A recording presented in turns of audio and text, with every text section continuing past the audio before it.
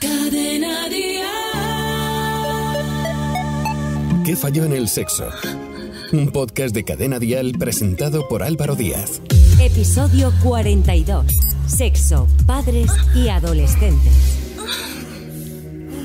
¿Qué tal? ¿Cómo estás? Soy Álvaro Díaz. Bienvenidos a un nuevo episodio de nuestro podcast ¿Qué falló en el sexo? Hoy nos vamos a adentrar en el mundo del sexo, los adolescentes y sobre todo la influencia de los padres. Si has llegado hasta aquí, no olvides suscribirte a nuestro podcast en tu plataforma de podcast favorita, Spotify, Apple, Evox, Amazon Music, Podimo, Podium Podcast y en cadenadial.com. La educación sexual en la vida de todo adolescente es muy compleja y requiere del apoyo máximo de sus padres y familiares adultos. Lo más normal es que los adolescentes consulten en Internet, que es donde lo preguntan todo, pero piden consejo a sus amigos, hablan con sus hermanos, con sus tíos, tienen una comunicación fluida de sexo con sus padres. Hoy en nuestro podcast, Cristina, Noelia, Nuria y Sole, madres y tía de adolescentes. ¿Qué falló en el sexo? Un podcast de Cadena Dial presentado por Álvaro Díaz. Bienvenidas a las cuatro. Gracias. Hola, buenos días. Vosotras sois personas relativamente jóvenes, pero venís como yo de una generación en la que aún el sexo era tabú en casa. ¿Os ha servido esta experiencia para abriros a vuestros hijos? Noelia, empezamos por ti.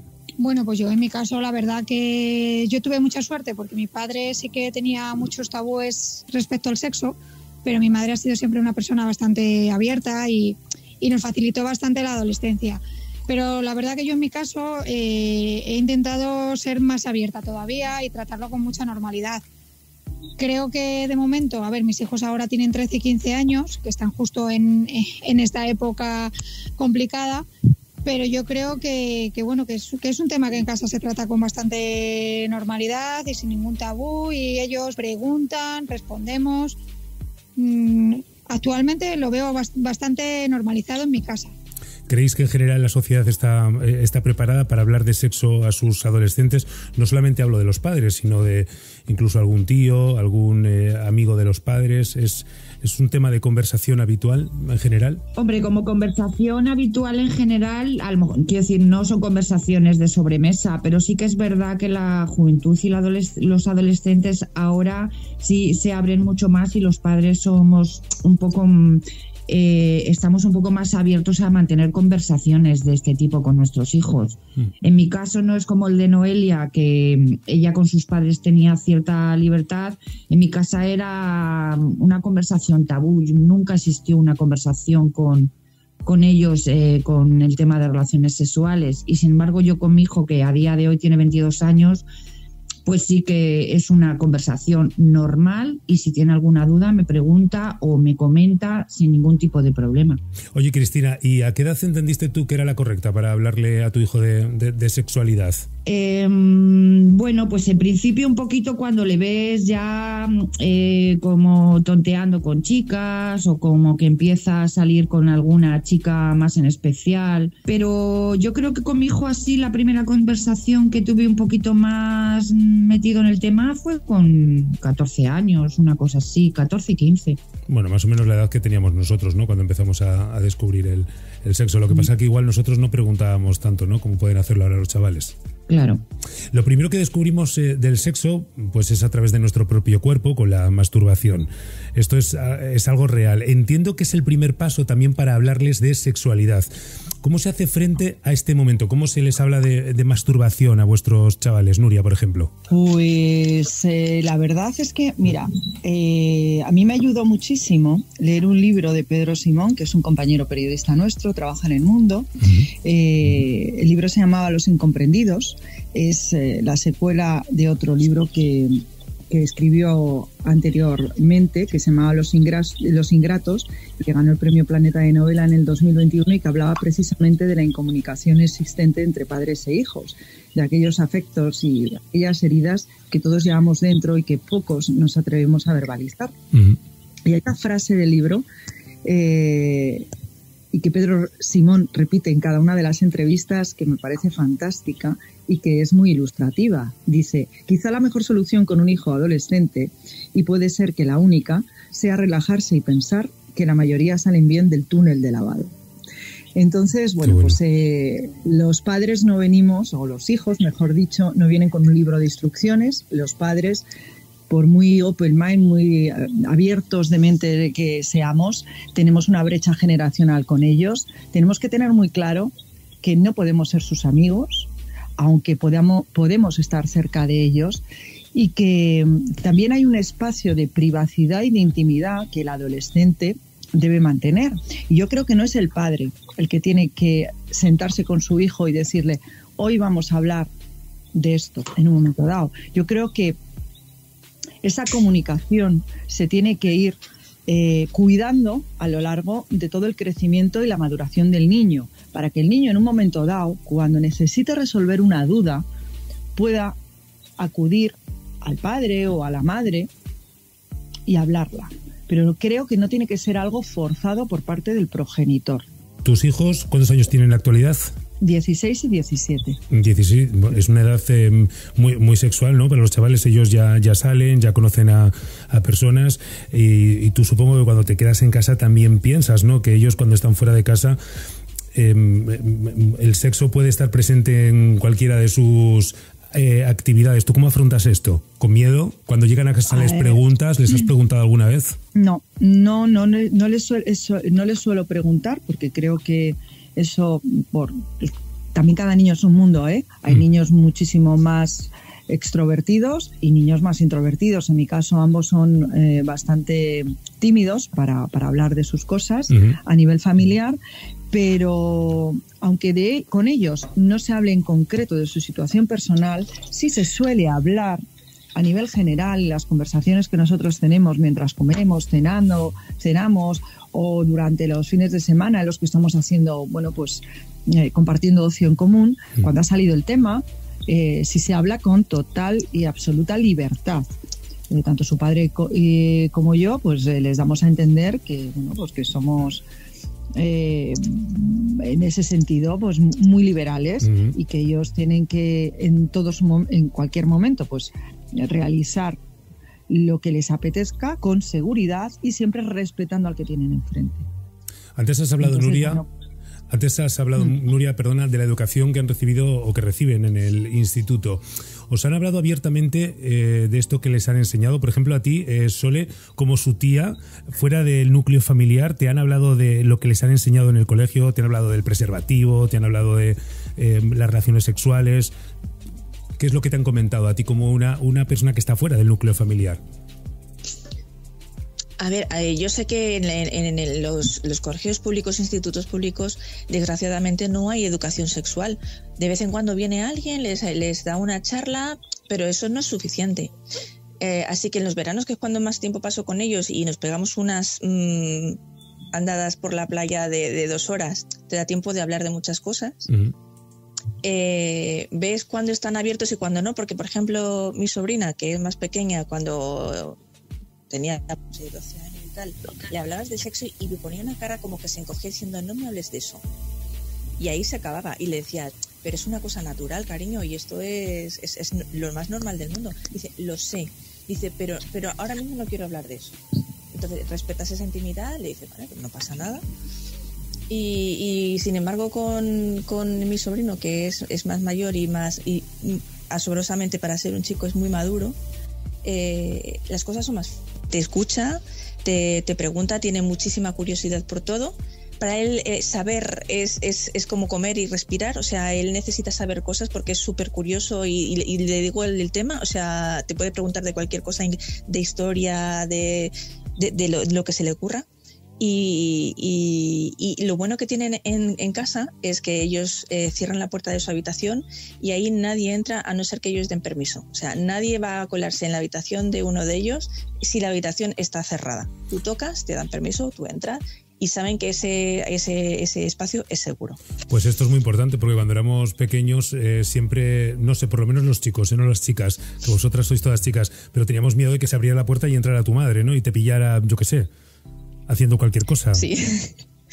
Por eso le dan, le, dan privacidad, la privacidad que ellos necesitan. Y a mí, a mí me pareció muy bueno y que se sintiera seguro, porque de hecho eh, mi sobrino es muy eh, muy, muy curioso, como te digo, y, y no se corta a la hora de preguntar cosas. Y me parece muy sano y muy normal. Hay que normalizar esto. ¿Y tienen más confianza contigo o con tu hermana en este caso y su marido, con tu cuñado? Yo creo que con mi hermana tienen muchísima confianza. Le preguntan de todo, o sea, de todo. Y yo lo que he hecho ha sido, pues, intentar aportar regalándole eh, unos juguetes sexuales. Ujú. Y aunque mi sobrina cuando se lo regalé, que le, le le- le regalé un dildo chiquitín, le dije, digo, mira, esto es para cuando estés preparada, digo, porque esto es normal, masturbarse es normal. Y digo, y tú tienes que saber qué es lo que te gusta a ti para poderlo pedir. Digo, si sabes que te gusta que te toquen aquí, allá y tal, tal. No digo que lo hagas ahora, solo que explórate, mira a ver qué es lo que te gusta. Digo, y así cuando mm, llegue la hora sabrás mm, si quieres o no quieres o, y dependerá todo de, de- de que te encuentres cómoda y bien contigo misma. Oye, esto es muy y valiente. hice con mi sobrino. Es muy valiente. Quien esté escuchando este episodio estará diciendo, ostras, no sé yo si me atrevería. ¿A qué? ¿A regalarle un, Un juguete. regalo sexual a sus...? Mm. A ver, que yo no lo hago con la... Yo les doy la opción. Ahí la tienen. ¿Quieres usarlo? Fenomenal. ¿No quieres usarlo? No hay problema. Va a estar ahí cuando lo quieras, si es que lo quieres. Pero ya tienen la opción. ¿Qué falló en el sexo? Un podcast de Cadena Dial presentado por Álvaro Díaz. Noelia, ¿cuáles son las dudas y las preguntas más habituales que te hacen tus, tus chavales? Eh, si te soy sincera, a mí tampoco me en casa, y ya te he dicho al principio que, que tenemos bastante libertad para hablar de estos temas, pero si soy sincera, tampoco llegan y me dicen, eh, mamá, eh, no sé, eh, cuando tenga relaciones me va a doler o le va a doler. Esas preguntas como tal, pregunta directa, no, a mí no me las hacen. Es verdad que ellos, lo que tú decías también al principio, pues tienen muchísima información, tienen internet. eh, En la mano. tienen un montón de, de- de sitios para informarse y tal. Lo que sí que es verdad que por, precisamente por eso nosotros en casa le damos mucha normalidad para que la información que reciben en Internet sea contrastada un poco con lo que nosotros decimos en casa. Y mm, lo que sí que me preguntó el pequeño una vez, que te lo cuento porque me parece gracioso, era que si teníamos un preservativo que se lo podía ver Que lo sacamos, eh, lo vio y decía, uy, madre mía, esto es muy grande. Digo, claro, cariño, que esto es para cuando un poquito más mayor". Pero preguntas como tal, eh, de- a mí realmente no me las hacen. O sea, nosotros intentamos darle esa normalidad hablándolo para que la información que reciben sea la correcta y no la que están viendo o la que están eh, escuchando en el cole o con otros compañeros. Y yo tengo que decir que en el caso de mis hijos, no como los sobrinos de Sole, sí que reciben educación sexual en el cole y la reciben, eh, me parece que hacen una sesión todos los meses, un par de sesiones todos los meses y sí que la tienen habitual, forma parte de su educación. Y cuando llegan a casa te dicen, oye, hemos hablado de esto. Sí, sí, sí, sí, sí que me lo cuentan. Sí que me lo cuentan. O sea, hay confianza. Y sobre todo, bueno, en, en el cole les cuentan un poco todo, pero un poco se centra en el tema de la, de la protección, del respeto, del respeto a, a la otra persona y, y, bueno, en ese aspecto sí que ellos reciben esa información. Nuria, en casa les habláis de la implicación de las emociones en el sexo y creéis que es positivo que separen lo que es placer y lo que es amor, que son dos cosas diferentes. A ver, yo creo que en casa ellos ven a dos personas que son sus padres, eh, que, tienen una relación de pareja en la que hay un respeto, hay un amor y en la que se establece una relación sexual en un momento dado, porque bueno, eh, somos sus padres y lo ven. Tanto su padre y como yo tenemos un pasado y de ese pasado con ellos hemos hablado. Entonces, eh, su padre no es la primera persona a la que yo conocí, ni para eh, su padre soy la única novia o la única pareja que ha tenido. Y en ese contexto, cuando les hemos hablado o a lo mejor les hemos echado en un momento dado, les hemos hecho alguna gracieta diciendo cómo eran nuestras anteriores parejas y tal, se ha salido la conversación de, pero le querías tanto como a papá. Bueno, pues eh, ahí sí salía el tema de, los de las emociones, es decir, no es necesario que cuando tengas una pareja eh, tengas que tener una relación afectiva y emocional con ella. Ujú. Simplemente hay personas que pasan por tu vida eh, y si ambas estáis de acuerdo, pues eh, hay un deseo sexual, pues ese deseo sexual se, se, se materializa y, y- y no hay ningún tipo de problema. Puedes eh, seguir y continuar con tu vida al igual que esa persona va a continuar con la suya. Existe la atracción sexual y, y existen las relaciones emocionales, personales, que también les decimos, y no se lleven a engaño, que, que esto es una cosa de dos y que sobre todo nada permanece, que el amor también se acaba y que la vida, bueno, pues eh, es fantástica para también eh, suponga un camino en el cual tú vas a eh, encontrarte a muchísima gente que puede tener una relación sentimental contigo y te puede aportar cierto tipo de cosas y gente, personas que a nivel físico también eh, tienen relaciones contigo que también te aportan grandes cosas porque te pueden hacer descubrir aspectos de ti que, que, que no que no contemplabas y sobre todo que el sexo es lúdico y que el sexo tiene dos caras. Una puede ser la que estábamos hablando hace un rato, que es el de una relación de pareja convencional, y otro, pues la simple diversión. Eh, el respeto, como he dicho y ha comentado mi compañera Noelia, el respeto y practicar el sexo con seguridad son siempre los dos eh, ítems y mensajes que por su parte, por el parte del padre y por el mío, les intentamos inculcar. Cristina, es en, televisión últimamente, desgraciadamente, estamos acostumbrados a ver en los telediarios, escuchar en las noticias agresiones sexuales. ¿Cómo afrontáis este tema en casa cuando estáis viendo o escuchando la radio? ¿Habláis con vuestro hijo? ¿Lo estáis escuchando con vuestro hijo? Tú que tienes un hijo, de 22 años, ¿cómo, cómo le hablas de, esto? Eh, a ver, en el caso, como antes ha comentado Nuria y Noelia en su caso también, eh, eh, ha salido ya en varias ocasiones la palabra de todo con seguridad y con respeto. Yo es en el momento donde más incido con mi hijo, porque de hecho, mm, a ver, en principio yo cuando comentamos este tema o vemos alguna noticia, yo a mi hijo sí que le noto eh, con cierta implicación en cuanto a, a que no lo ve como normal, que hay en muchas ocasiones o estamos viendo en la juventud que hay cosas que es que para ellos es como normal, las cosas que cuelgan en, en Twitter, en redes sociales, en YouTube, etcétera. Eh, entonces yo desde el minuto uno, lo, donde más le he incidido siempre a mi hijo ha sido en el respeto hacia la persona con la que está o pueda mantener una relación y evidentemente el respeto que, él también eh, debe recibir. Entonces, mm, ahí en ese caso sí que es verdad que yo eh, le veo bastante centrado y que hay cosas en que realmente él no lo ve como normal. Sí que es verdad que viendo tantas cosas y eso te da un poco de miedo porque a veces piensas, ojo, cómo tienen la cabeza estos adolescentes para llegar a hacer esto con tal impunidad, tranquilidad. Entonces, eso es de las cosas que a mí me das más miedo, con lo cual yo en lo que más le insisto es en el tema respeto y que no vale todo. Esta pregunta se la hago a Sole, pero la, extiendo a, todas. Eh, los chavales ya tienen desde muy pequeños un teléfono móvil en su mano en el que tienen acceso a Internet, tienen acceso al WhatsApp, incluso tienen acceso al porno. Em, ¿Cómo, ¿Cómo, gestionáis esto? ¿Tenéis miedo? ¿Lo habláis? ¿Le habéis eh, incluso cogido el móvil en alguna ocasión y le habéis quitado, le habéis vetado, bloqueado para que no vean este tipo de cosas o os lo, dejáis para que lo vean abiertamente y sepan también qué es lo que hay o qué es lo que pueden encontrar? Porque es verdad que en las películas porno vemos unas relaciones sexuales que luego no son las que habitualmente tenemos nosotros en casa. A ver, yo no, o sea, yo creo que esto lo deberían de comentar mis compañeras porque eh, lo de gestionar lo de los móviles es más de, padres. Pero sí que es verdad que yo con mis sobrinos he hablado de, a ver, ellos les gusta mucho el anime y hay anime hentai, anime específico yaoi y tal, y de eso sí que hemos hablado. Pero como, como anime y como que, como que son dibujos así sexuales, pero que tal. Pero yo vamos lo de lo de los móviles como que no. ¿El resto?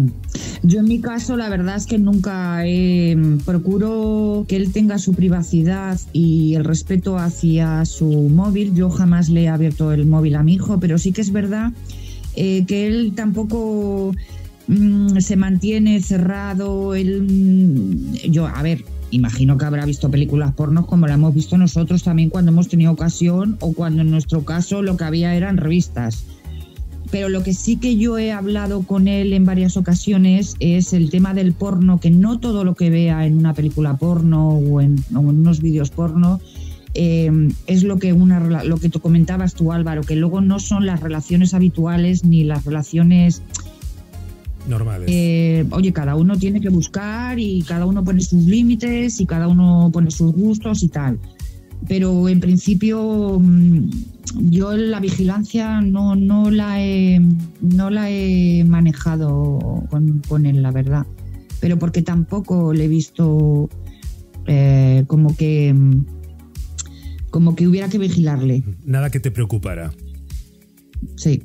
Noelia, hace unos capítulos eh, de este podcast que falló en el sexo hablábamos de la dependencia y la adicción y la adicción, perdón, al sexo y había un estudio que decía que los jóvenes y los adolescentes cada vez eran más adictos al, al sexo.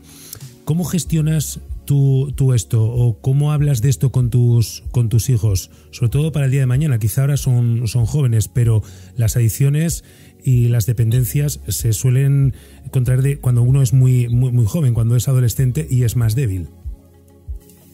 Bueno, pues a ver, nosotros eh, en casa, a ver, Marco y Dani, que son mis hijos, que eh, tienen 13 y 15 años ahora, la verdad que todavía eh, no hemos hablado de, la adicción al sexo, sí que hemos hablado un poco del tema de la adicción o la dependencia de las personas, pues en el caso del mayor, ahora pues está tonteando con una niña de su clase. Eh, y sí que, sí que hemos hablado con él un poco en, eh, en el aspecto de decirle, Marco, esta persona eh, va a pasar por tu vida un tiempo, probablemente no va a estar toda la vida, entonces tú tienes que seguir tu camino, tú tienes que seguir, en el caso de, de mi hijo, por ejemplo, el año que viene va a estudiar fuera, y el otro día el pequeño le decía, ¿vas a querer irte ahora que tienes novia? Y yo le dije, claro que va a querer irse porque él tiene un futuro, él tiene un proyecto de futuro y él ahora mismo está con una persona que, bueno, que forma parte de su vida un tiempo, pero seguramente eh, no va a estar en el resto de su vida con él.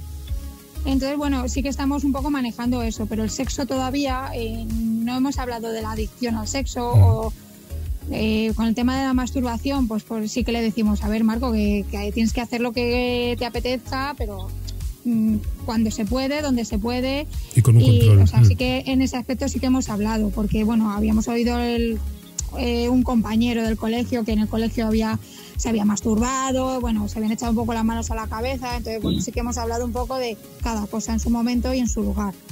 Pero mm, más allá de eso no, no hemos hablado. ¿El resto alguna tiene que añadir algo sobre esto? Hombre, yo lo que sí que pienso es que tampoco les puedes dar eh, todos eh, el camino, no les puedes dar el camino hecho, porque todos hemos aprendido por nosotros mismos, dependiendo de nuestra personalidad, de nuestra evolución, de entonces tú les puedes dar unos ítems con unos valores y una formación en la medida que tú puedes, pero luego cada uno tiene cada uno tiene que evolucionar a su forma. Sí, al final yo creo que todo se basa en la educación que les vamos dando y al final ellos irán formando como personas y no es hablar de eh, no puede ser adicto o no puede ser, o sea, yo creo que al final es un poco pues todo la educación y la educación que se da en casa y cómo se tratan determinados temas en casa, pero en cuanto al sexo y en cuanto a otras muchas cosas. ¿Qué falló en el sexo? Un podcast de Cadena Dial presentado por Álvaro Díaz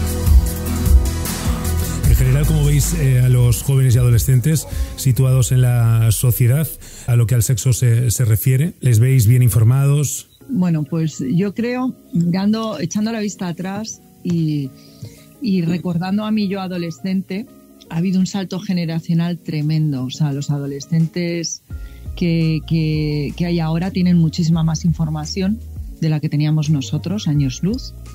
Quizá el problema que yo vea es que esa información no les llega eh, de la forma que les tiene que llegar, porque muchas veces esa información no está contrastada, son fakes, eh, responde a estereotipos que ellos consideran que son algo real cuando no es cierto, eh, y sobre todo que no saben cómo gestionarla, no saben cómo separar la paja del heno cuando reciben esa información. Y ahí es donde considero que tu círculo familiar eh, tiene que ayudarte. Es decir, tú no puedes, como bien ha dicho Cristina, eh, estar a, eh, constantemente diciéndole a tu hijo, haz esto, haz lo otro, cuidado con tal, con cual, porque esa no es una forma de... El ser un padre o una madre de helicóptero no te va a ayudar, salvo a, a ser una persona que no va a tener recursos ni, ni habilidades para, para en un momento dado saber gestionar un tema, sino simplemente marcarles desde la educación, como bien ha dicho Noelia, eh, el ver cómo se funciona, el ver cómo en casa se cuestiona, se debate, se discierne sobre ciertos tipos de temas que te llegan, que no basan solamente en, cuestiones de, de- de adolescencia, sino en cuestiones de economía, en cuestiones de política, en cuestiones de sociedad, en cosas que, que los medios de comunicación tratan y que vean y que sepan discernir y que sepan leer realmente y separar lo que es la información de lo que es propaganda y, de lo que es eh, eh, pues, eh, información adulterada y tóxica. Entonces, cuando tú estás creando un adolescente y estás formando un adolescente que tiene ese tipo de capacidades, yo creo que le estás dotando de herramientas para que en el tema del sexo, por ejemplo, eh, sepa defenderse y tenga los criterios como eh, pues para poder decidir y sobre todo saber qué es, le convie- qué es lo que le conviene, qué es lo que conviene, dónde están los límites, dónde tiene que parar, dónde tiene que respetar y, y dónde tiene que hacerse respetar. Que también eso es una cosa muy importante que había comentado Cristina. ¿Ellos tienen miedo a las enfermedades de transmisión sexual? ¿O han Yo perdido el miedo? Yo creo que no. ¿Tú crees que no? Yo creo que no que una no. generación consciente de, de las enfermedades. Yo creo que nosotros vivimos la época de- del VIH, la vivimos como algo muy, muy loco, una, fue una etapa que a nosotros se nos metió como mucho en la cabeza ese tema, pero yo creo que ellos no son conscientes y creo que se debería trabajar un poquito más sobre eso y deberían los medios de comunicación Ujú. trabajar más sobre ese tema. Yo en mi caso sí que se lo digo, ¿eh? se lo digo siempre, muchas veces les digo, por favor, el preservativo es súper importante y ya, y les digo siempre, el menor de vuestros problemas será que se quede embarazada la persona con la que estáis. Hay mil enfermedades y mil problemas que pueden venir a través de una relación sin una protección.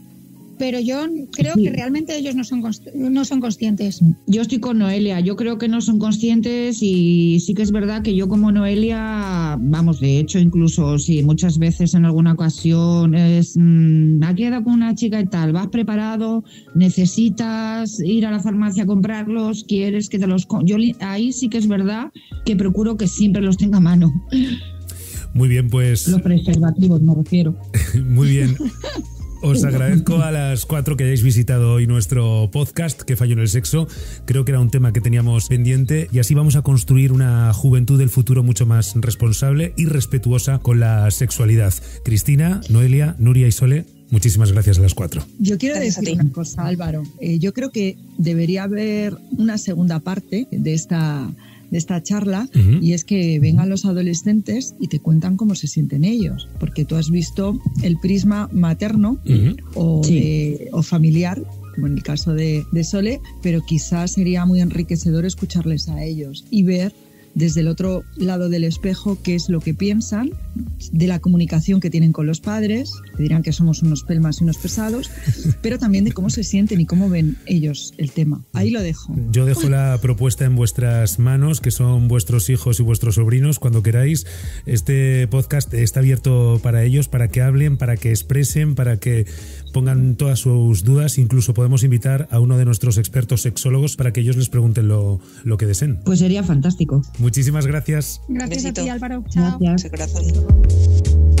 ¿Qué falló en el sexo? Puede ser difícil hablar de sexo, pero más difícil todavía es evitarlo. El sexo puede estar en todas partes, en las noticias, en el entretenimiento, en redes sociales, en la publicidad. Puedes valerte de eso para iniciar y continuar con la conversación. Te vamos a dar algunas ideas. Aprovecha el momento. Si se habla de sexo en un programa o en una canción, aprovechalo para sacar el tema.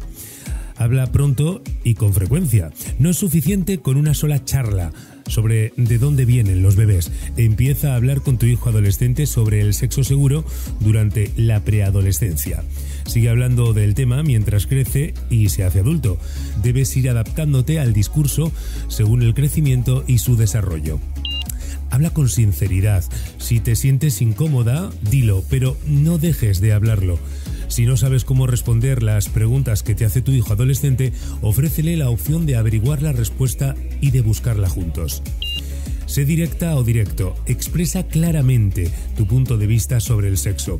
Dale la información verdadera sobre los riesgos como el dolor emocional, las infecciones de transmisión sexual y los embarazos no deseados.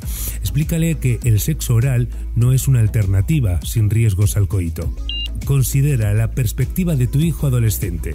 Las charlas estrictas y la técnica del miedo pueden romper la conexión y fomentar un comportamiento rebelde y arriesgado. Es mejor que escuches atentamente a tu hijo.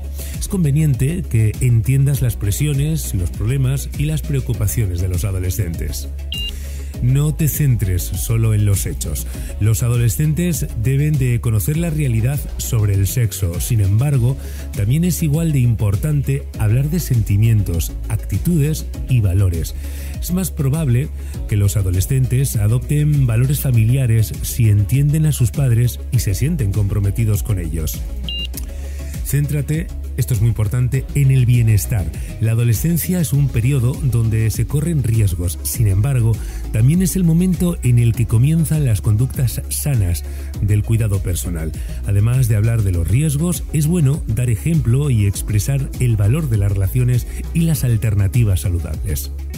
Sugiere una charla con él. Hazle saber a tu hijo adolescente que puede hablar contigo sobre sexo cada vez que tenga una pregunta o una inquietud. Destaca que ha hecho bien en hacerte una pregunta y puedes decirle, por ejemplo, me alegro de que hayas acudido a mí. ¿Qué falló en el sexo? Un podcast de Cadena Dial presentado por Álvaro Díaz.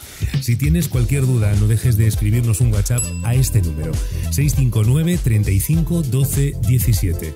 No olvides buscar y seguir en sus redes sociales a nuestros expertos habituales, Yania Concepción Vicente, Karma Sánchez Martín y Alejandro Fernández. Y recuerda suscribirte a nuestro podcast, dale a like a este episodio y compártelo en tus redes sociales. Nos escuchamos en el próximo capítulo. ¿Qué falló en el sexo? Guión y producción Álvaro Díaz. Con la colaboración de Yania Concepción. En Instagram, arroba Yania Concept. Psicólogosexual.com y carmensánchez.com. Suscríbete a nuestro podcast y descubre más programas y contenido exclusivo accediendo a Dial Podcast en cadenadial.com y en la aplicación de Cadena Dial. Cadena